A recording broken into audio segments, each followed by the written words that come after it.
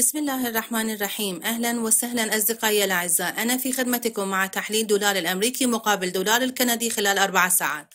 في هذا الرسم البياني وبحسب اتجاه الموج الصاعد فمن المتوقع بعد الانتهاء من عملية التصحيح في نطاق الدعم هذا أن نشاهد تغيير في الاتجاه وبداية الاتجاه الصاعد في رسم البياني مما يمكن أن يستمرار حتى نطاق المقاومة المحدد. إذا استمرت عملية التصحيح حتى مستوى 38% و50% الذي حدث في هذا النطاق فمن المتوقع أن يقوم السعر بإجراء تصحيح ومتقلب في رسم البياني ويمكن أن يشكل الموج. آه، الحركة السعر في هذا النطاق نتوقع في هذه الحالة تغيير وبداية الاتجاه الصاعد في رسم البياني والذي يمكن أن في مرحلة الأولى الوصول إلى نطاق السقف السابق ويمكن كسر النطاق السقف السابق ومستوى 78%